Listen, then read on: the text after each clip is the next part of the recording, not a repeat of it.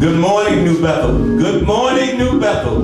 This is the day that the Lord hath made. Let us rejoice and be glad in it. I was glad when they said unto me, Let us go into the house of the Lord. Is anybody glad to be in the house on this morning? God has been good to us in spite of what's going on right now. We just come to lift up the name of Jesus because the Lord has been better to me than I've been to myself. So this is the day and we're going to rejoice.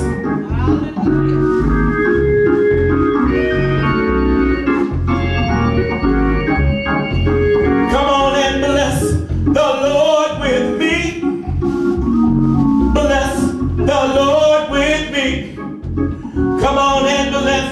the Lord with me. Come on and bless the Lord with me. Bless the Lord with me. Bless the Lord with me. Come on and bless the Lord with me. Come on and bless the Lord with me. Come on and bless the Lord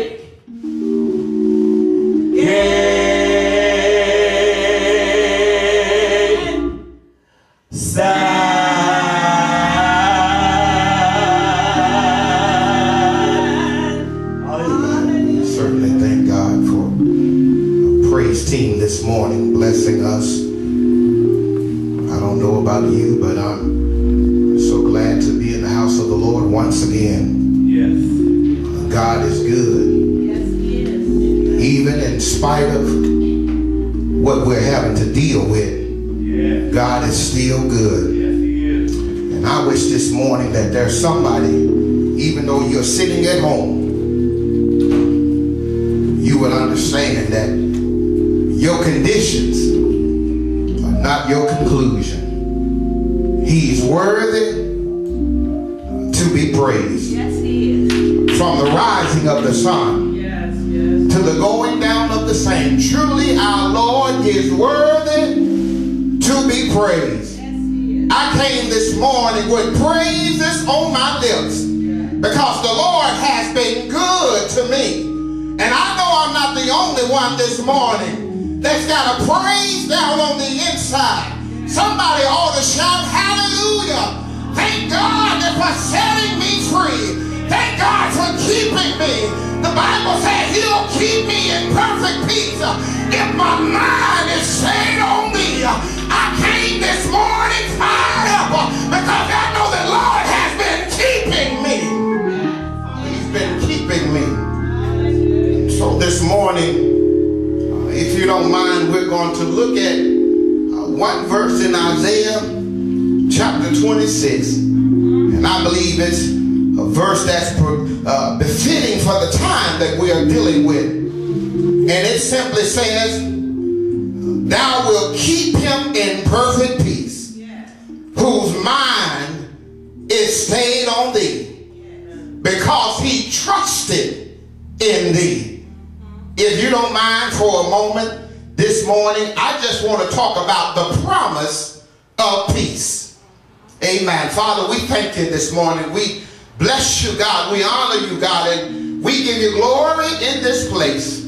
Father, it's because of you that we breathe, move, and have our very being. And so, Father, even though things have changed, our praise and our worship never will. Because you have not changed on us you're still the same loving God. You're still the same protecting God. You're still the God that's keeping us, uh, even in spite of what's going on around us. Father, thank you for the blood of Jesus uh, that has been covering us uh, and keeping us. And so it's in Jesus' name that we pray. And the church said, Amen. Father, we bless you. Uh, by way of introduction, to the text this morning, there's a man by the name of Spafford. Uh, and he writes a hymn after experiencing two major traumas in his life.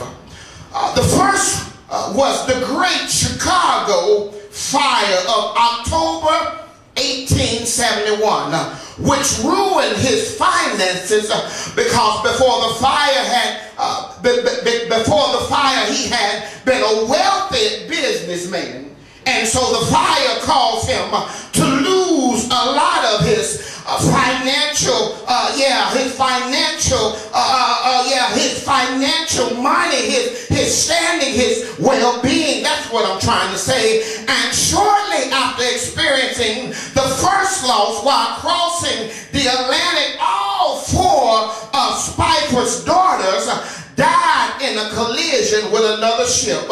Spafford's wife uh, Anna survived and sent him uh, this news that uh, sent them the news of a famous telegram uh, that said saved alone.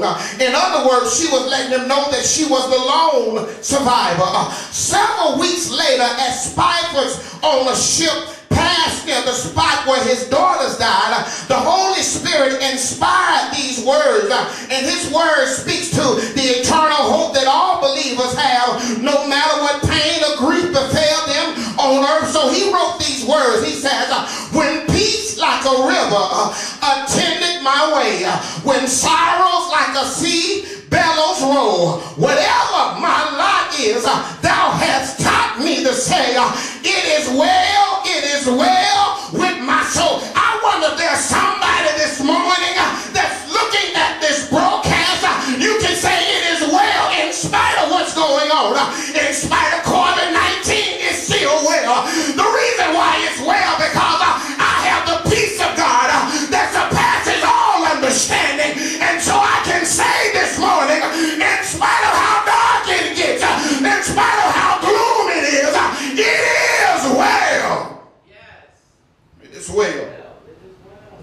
Neighbor, tell him it is well.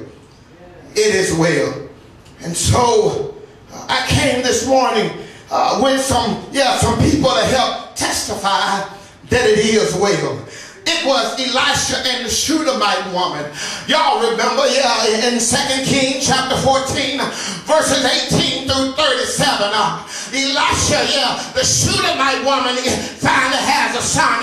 And the Bible tells about how, yeah, he has a heat stroke and dies. And the father tells the son to the mother, and, and the mother lays him in the room, yeah, of the man of God.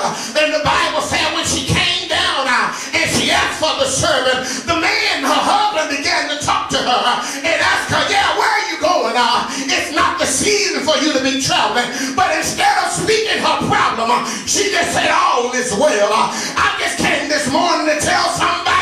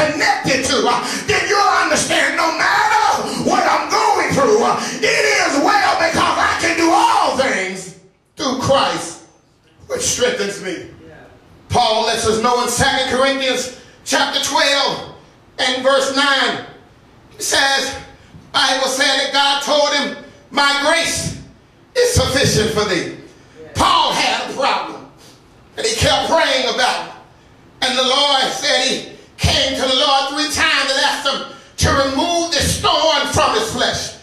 And I came this morning to tell somebody that no matter what you're going through, I know you've been praying about the situation that we're having to deal with, but can I tell you something? Until God moves on our behalf, I found out that His grace, His love is sufficient for thee. The reason why I can have peace is because of His love for me. So Isaiah writes about this uh, wonderful promise that was given during the darkest periods of Israel's history. Uh, the reason why is the darkest period because you got to understand that Israel is in exile in Babylon, which means they're going through something. They're on lockdown. They can't live life the way they normally live. Can I just put a pin right there and tell you, doesn't that sound like us today? We can't go and come like we used to. We can't do all the things that we used to do. I'm having to preach to you now over the internet service because we can't meet together in the church the way we used to. But God is establishing a new normal because we're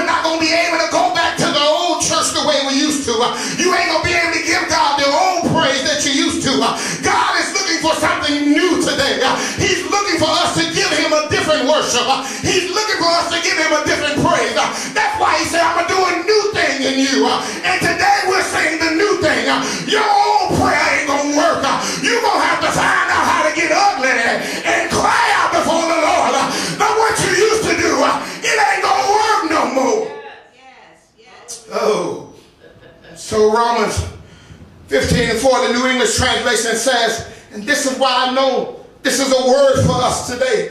Because Romans 15 and 4 in the New English translation, it says, for everything that was written in the former times was written for our instruction, so that through endurance, uh, through encouragement of the scriptures, we may have hope. That's why we're preaching. That's why we're teaching. It's so that the people of God will still have hope. It's found in the Word of God. You got to get off TV. You got to get in your word and find the hope. The reason why you don't have no peace is because you are not looking for the one that gives peace. I wish I had a praying church this morning to help me preach this thing. And so it is Isaiah sends us uh, sends us hope today during a time when we are surrounded by much gloom and depression. A time where we are constantly threatened by three great enemies, and those enemies are doubt, fear, and worry. Uh, I don't care, but uh, I'm going to tell the story. I have a sister that I spoke to on the other day, and, and she's been kind of dealing with this situation, and, and she began to cry and said, Brother, I'm scared, but I had to tell her, baby, you got to have faith. Faith common sense. That, that just because I wear my mask don't mean I ain't got faith. I just got enough common sense to listen to, yeah, the professors tell me what I need to do, but I still got faith. My faith tells me even if I catch it, the Lord will bring me out. He said this sickness is not unto death,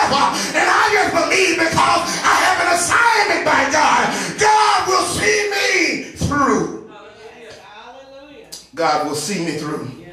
I discovered that your identity is discovered through adversity. I'm going to say it again. I've discovered that your identity is discovered through adversity. And that simply means that when you're going through, you find out what people are really made of. I know I ain't going to get no help right there. You find out who your friends really are. You find out, Brother Lamingo, who really has your back when you're going through. You've been there for them when things were good, but now that things are bad, you can't got you can't find nobody to call on. Folk won't even give you an encouraging word. Folk won't even tell you, brother, if you need me, you can call me. I got a little piece of spare change uh, that can help you and your family get through. Uh, you find out what folk are really made of uh, when it really gets dark. Uh, because I discovered this, this, this here this morning because destiny is developed in dark places. I wish I had a witness this morning.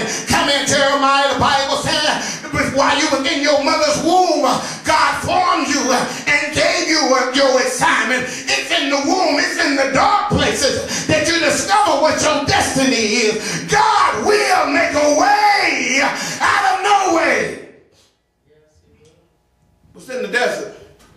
Jesus is tested. He's just uh, been made a public service announcement that God said, This is my beloved son. The Bible says sends him into the wilderness. And while he's in the wilderness, that's when the test came. Can I tell you something this morning?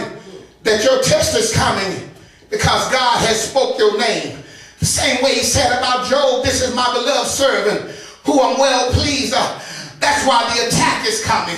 Whenever God begins to bless you, whenever God puts his hand on you, whenever God has an anointing over your life, uh, there's an attack gonna come your way. But I came this morning to tell you to stand still and see the salvation of the Lord. God will bring you out. God will not leave you while you're in your storm because uh, he said he's an ever-present helper in the time of storm. It's in verse 1. The New English Translation said at that time this song in the land of Judah. The song uh, that Isaiah is talking about is the song of the redeemed. Because you got to understand that Isaiah is prophesying about the future. He's prophesying about this new Jerusalem that will come. But can I tell you something? He's also prophesying about Jesus Christ. And we know that Jesus has already came and died for our sin. And so we are entitled. We ought to be able to sing a song today because we are the redeemed.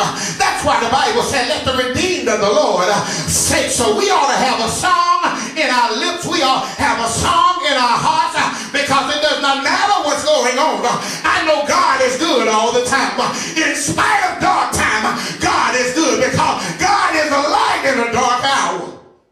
So he said this song that they sing in the land of Judah, we have a strong city. He said the Lord's deliverance. Get that, don't miss that. He said the Lord's deliverance is like a wall or a rampart. A rampart is just a wall that was put around castle. It protect them and keep them. And so in other words, what he's saying is because we belong to God, we is redeemed because Jesus has redeemed us with his blood. That means that God's deliverance is a wall. Y'all ain't hearing me this morning. That means that God is protecting us uh, and he's keeping us. Uh, ah, I wish I had somebody this morning to say the reason why I know about peace, the reason why I have peace, uh, even in my storm, is because I know who has been keeping me. So, the Hebrew word Yeshua, it means rescue. So it's Yeshua that makes us safe. Uh, really uh, uh, makes us safe uh, in, in the Hebrew terminology is Yeshua. And I just came this morning to let you know that it's Yeshua. Yeshua is the Hebrew name that means Jesus. And so in other words, what I'm trying to tell you is it's Jesus who is going to be keeping us. It's Jesus that has been keeping us. It's Jesus that's keeping you right now. In fact, the text says he'll keep us in perfect peace if our mind is stayed on thee. It's Jesus that's been keeping you. It's Jesus in the morning.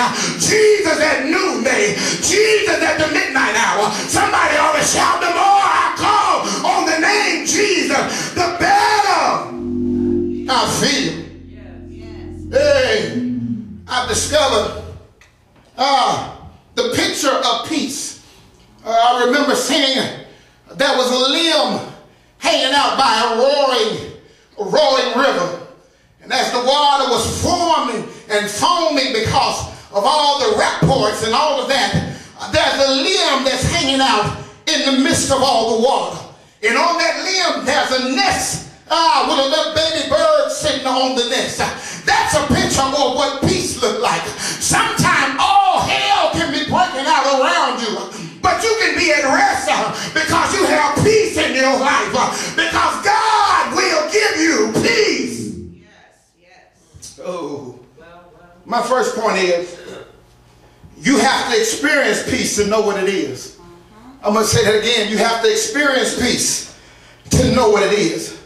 The, next, the dictionary defines peace as freedom from turbulence. Well, let me just say this here. I don't know nobody that has, uh, has been uh, turbulence free because the Bible tells us to take up our cross and follow him. And so if I'm going to follow God, if I'm going to follow Jesus, if he's going to order my steps, there are going to be some problems. And so Webster's dictionary don't do me any good. I wish I had a praying church. Because peace is not the absence of trouble, but the presence of God. That's why in Philippians 4, 6, and 7, the New Living Translation said, don't worry about anything. But instead, pray about everything. Tell God what you need and thanks. Thank him for what he's already done. In verse 7 says, and then you will experience God's peace, which exceeds anything we can understand. His peace will guard your heart and mind as you live in Jesus Christ. In other words, whenever you spend some time with God, you can have some peace from God in your life. Hey, bless your name, God. Isaiah lets us know. Uh, basically, here it is. The New, the New English translation lets us know, uh, yeah, that, uh, oh Lord, you make us secure. In other words, uh, peace comes from being secure. And it's God that makes us secure. Isaiah 9 and 6 says Jesus came to bring us peace. The New Living Translation said, For unto us a child is born, unto us a son is given and the government will be upon his shoulder. And his name will be called Wonderful. Counselor, yes. Mighty God, Everlasting Father, and Prince of Peace. So God establishes peace on our behalf. I wish I had a praying church this morning. You missing it. God established peace for you because God is peace. Isaiah 32 and 17 says, that the fruits of righteousness will be peace. Whenever we are living rightly, God gives us peace. And if you don't have peace this morning, you need to check the way you're living. I wish I had some. I just told you we can't go back to being the church that we used to be. We've got to become this new church that God is looking for. Not everyone enjoys peace. How do you know, preacher? Because Isaiah 48 and 22 tells us yeah, he says, there's no peace, says the Lord, for the wicked. Wicked people can't have peace. That's why they get on your last nerve is because uh, they want to upset your apple cart because their life is a living hell. Have you ever been around somebody whose life is all jacked up and because their life is jacked up, they trying to jack your life up? Hey, bless your name, God. I discovered that uh, there's no peace for the trouble disciple. Saw this, the troubled disciple in Luke 10, 41 and 42. When he says, Martha, Martha, you're worried and troubled about many things. Verse 22 says, but one thing is needed. And Mary has chosen the good part, which not be taken away from her. In other words, you've got to discover that no matter what you're going through, you've got to focus on the Lord. You got to get in his word. You've got to stay on your knees. You've got to shut out uh, all of the noise from outside and concentrate on me. John 14, 27 lets in the New Living Translation, I am leaving you a gift of peace of mind and heart. And the peace I give is a gift that the world cannot give. So don't be troubled or afraid. And so it's in Psalms 91 and 1. He that dwelleth in the secret place of the Most High yes. Uh, shall abide under the shadows of the Almighty. Yes. Yes. And so uh, the first thing you have to experience peace to know what it is. The second thing is you have to know who gives peace. Uh-huh. And the last thing is why I have peace. And it's found in verse 3. It said, Thou will keep him in perfect peace, yes. whose mind is stayed on thee, because he trusted in thee. Peace is the Hebrew word that means shalom, which means reconciliation, because peace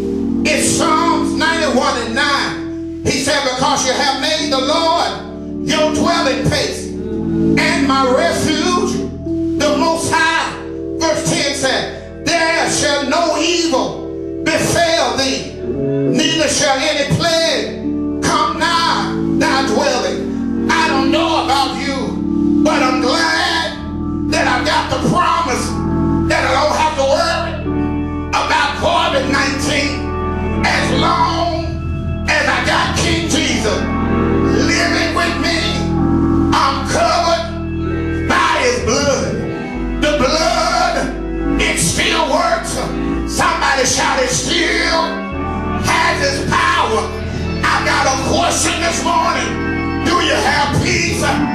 Do you have peace? He promised us that he'll keep us in perfect peace if my mind is stayed on thee. Every morning I get up, I praise him for keeping me. Every afternoon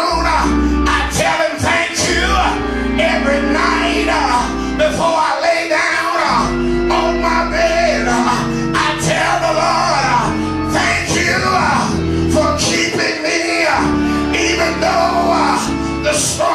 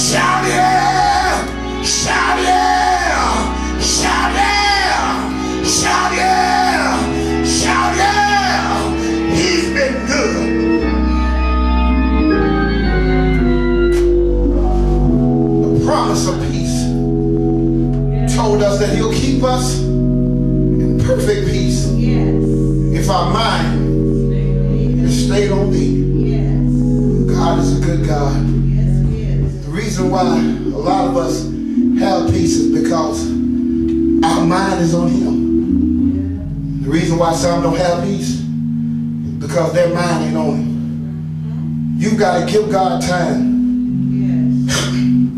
Not just on Sunday morning when you gather like we're doing now. But you guys give God time Monday, Tuesday, Wednesday, Thursday, Friday, and Saturday. God gave you a promise. He brought peace here for us. And why wouldn't he share his peace with you? The only reason why he wouldn't share it is because we haven't asked him. We haven't made him Lord or Lord over our life. I've discovered this. You can't pray and use Jesus' name when you haven't submitted to his name. You can't use his name in vain. And so today I'll just ask someone that may see this. Today is a good day to reconnect. Because I really believe in my heart of heart that we are in the condition we're in, not because of the president, but because of the church.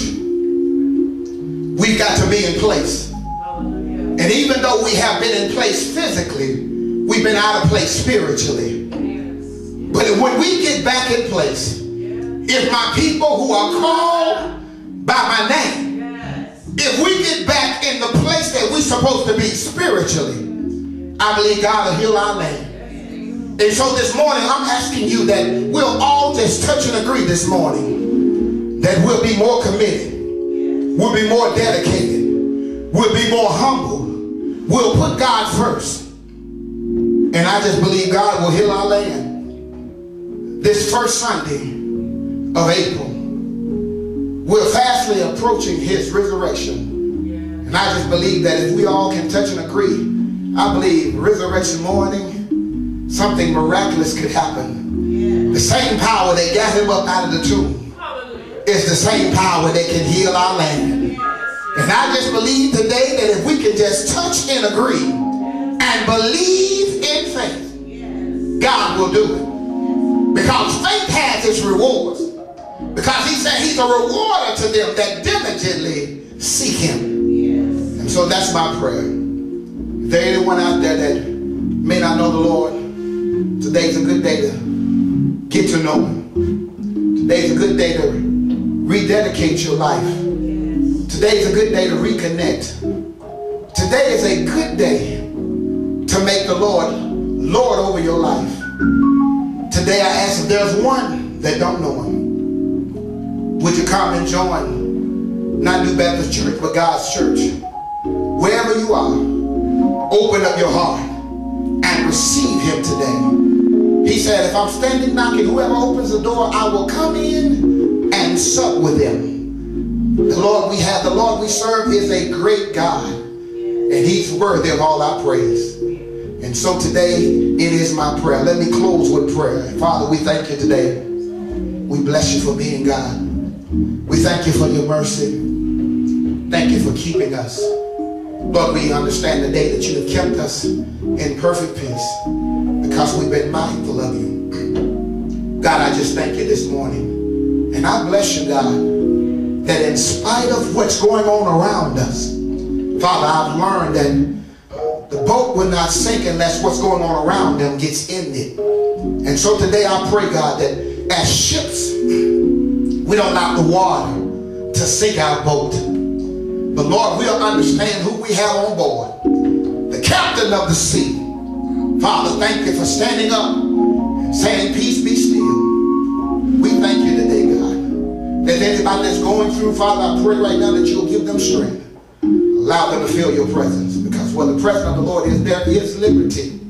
Father, we bless you. We honor you. We thank you in Jesus' name. And the church said, Amen.